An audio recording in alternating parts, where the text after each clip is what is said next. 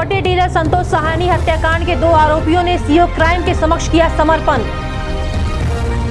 पंचम राज्य वित्त आयोग के अध्यक्ष जगदेव सिंह ने गोरखपुर बस्ती मंडल के अधिकारी, जिला पंचायत अध्यक्षों, ब्लॉक प्रमुखों, प्रधानों एवं नगर पंचायत अध्यक्षों व अन्य जनप्रतिनिधियों के साथ की बैठक। मांगे सुझाव। 22 दिन में मात्र सत्ताईस हज़ार मैट्रिक टन गेहूँ खरीद पर जिलाधिकारी के विजेंद्र पांडेयन ने क्रय एजेंसी के अधिकारियों पर कार्रवाई करने का दिया निर्देश और ऑनलाइन फीडिंग पर भी जताया असंतोष। प्राइमरी स्कूल में बीएसए करेंगे वीडियो कॉलिंग। अनुपस्थित टीचर पर गिरेगी गाज। जनता भी कर सकती है वीडियो कॉलिंग के माध्यम से शिकायत। गोरखपुर न्यूज़ की विशेष खबर। मंडलायुक्त अनिल कुमार और जिलाधिकारी के विजेंद्र पांडेयन ने गन्ना शोध संस्थान में निर्माणाधीन एम्स के कार्यों का किया स्थलीय निरीक्षण।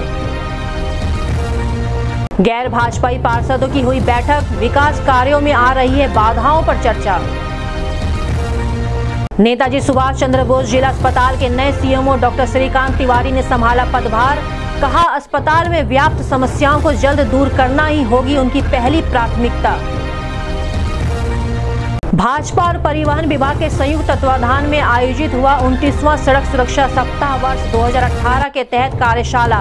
परिवहन विभाग से संबंधित समस्याओं पर हुई चर्चा।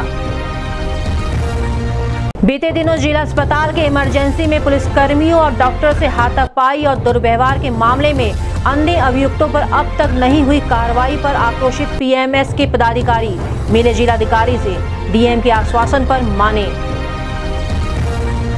वरिष्ठ पुलिस अधीक्षक शल्लभ माथुर ने पुलिस की पाठशाला कार्यक्रम में स्कूली छात्राओं को कानून से संबंधित दी विविध जानकारियाँ किया जागरूक। नवीनतम तकनीक से पैदावार अधिक कर आय दुगुना करने के उपाय पर ब्लॉक स्तरीय किसान कल्याण कार्यशाला 2 मई को। नशा मुक्ति को लेकर अखिल भारतीय एनजीओ महामंच ने निकाली पदयात्रा। लोगों को नशा से होने वाले नुकसान के प्रति किया जागरूक। जिलाधिकारी के विजेंद्र पांडेय ने आठ नए गेहूँ क्रय केंद्र खोलने का दिया आदेश। ज़िले में अब 150 गेहूँ क्रय केंद्र हुए।